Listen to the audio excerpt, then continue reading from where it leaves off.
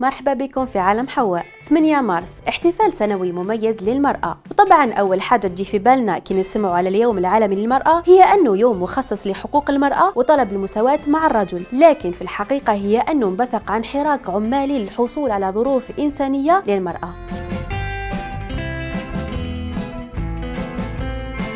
بدأت حكاية يوم العالمي للمرأة في 8 مارس عام 1957 وين خرجوا الآلاف من النساء للاحتجاج في شوارع مدينة نيويورك على الظروف اللا إنسانية اللي يعملوا فيها. ونجحت هذه المسيرة في دفع المسؤولين السياسيين لطرح مشكلة المرأة العاملة. على جداول الأعمال اليومية يرجع تاريخ اختيار يوم 8 مارس لما تكرر المشهد في نفس التاريخ من عام 1908 وين عادت الآلاف من عاملات النسيج للاحتجاج وللتظاهر من جديد في شوارع مدينة نيويورك. لكن هذه المرة بطريقة مختلفة وينحملوا معاهم قطع من الخبز اليابس وباقات من الورود. في خطوة رمزية لها دلالات كثيرة واختاروا لحركتهم الاحتجاجية شعار خبز وورود. طالبت المسيرة هذه المرة بتخفيض ساعات العمل ووقف تشغيل الأطفال وكذا منح النساء حق الاقتراع ولكن دخلت الشرطة بطريقة وحشية باش تفرق المتظاهرات.